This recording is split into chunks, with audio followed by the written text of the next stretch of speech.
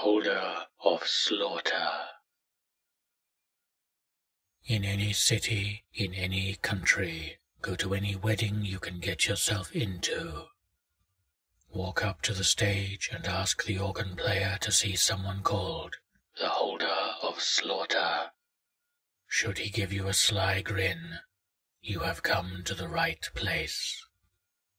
With a wink, he will pass a machete to you from under the keys and tell you to lock the doors. Stride purposely to every door and make sure they will not open, and do not worry that anyone will see the weapon. Tap the hilt of the blade to every locked door and every window. This will ensure that no one escapes. When you have done so, move to the farthest row of pews and stand in the aisle until the organ player strikes up a mournful, haunting melody, much to the confusion of the assembled well-wishers. Wait for exactly twenty-nine measures to pass. When the thirtieth measure begins, lift the machete over your head and strike the first person who is within your reach.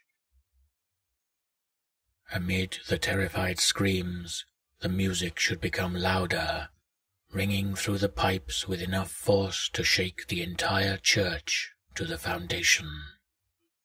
Now you must, with great leisure and deliberation, move back and forth along the pews, slashing at every occupant of the building. You must show no mercy, no hesitation, only a slight bemusement at seeing the floors and your body washed in innocent blood.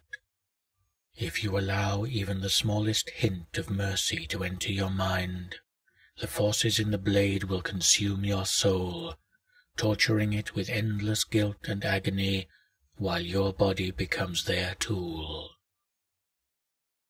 As you sweep along the rows, you may hear the preacher continuing to speak, highlighting all of the best deeds of humanity and citing many things you and your family have done. Listen not to his sermon, for he knows this game well and is trying to confuse you into pausing. When the rows are clear, kill anyone standing at the doors, and watch them scramble to the main aisle, gathering in front of the podium.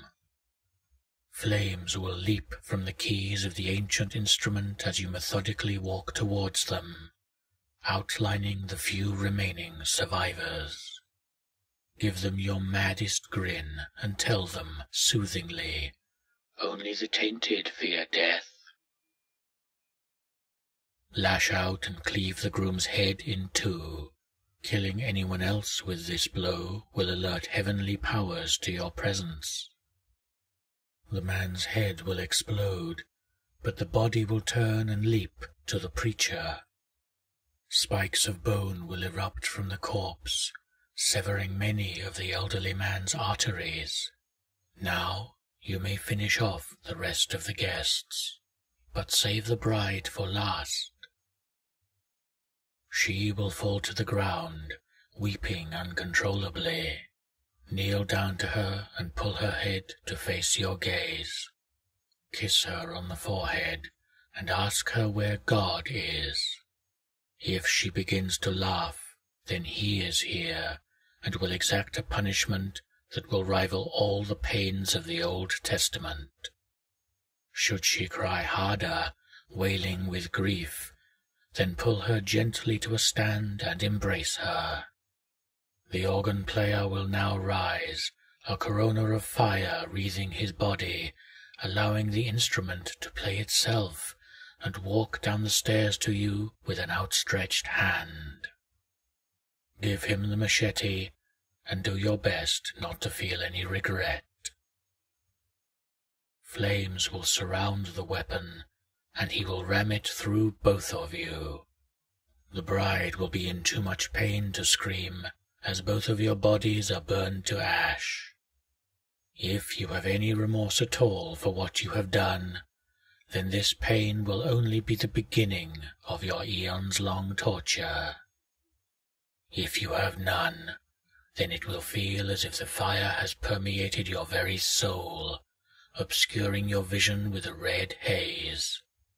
Then, like a wisp of smoke, they will be gone, and you will see the church again, only now it is an effigy of hell. The walls are now crafted of flesh, oozing blood and pus from countless gaping wounds. Fire sprouts up from the floor with no warning, and the air is heavy with the cries of thousands of tortured dead. All of the revellers are chained to crudely formed pews of bone, impaled in every joint by nigh molten skewers of steel. The bride will be before the podium, her limbs spread wide as she is secured to a rack-like device.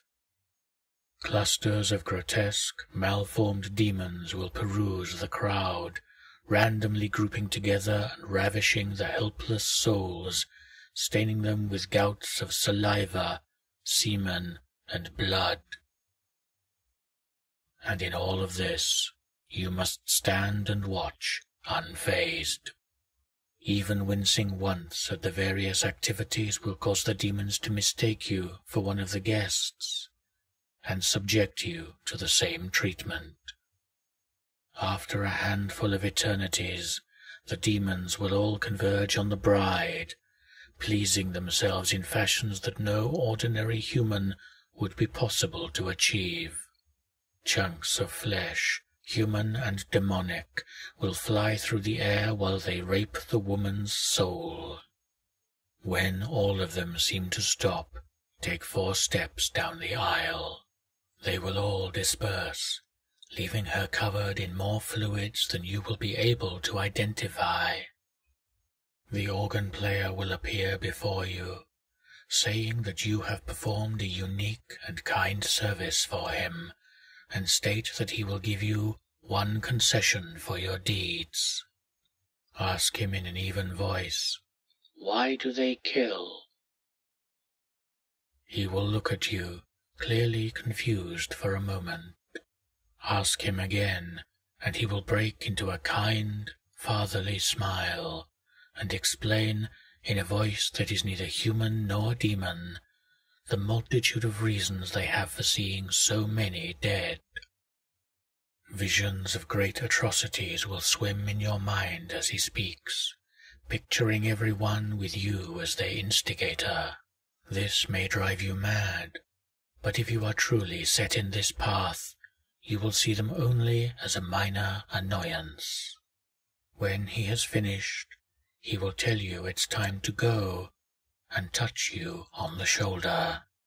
The pain of immolation will strike you again, and everything will go dark.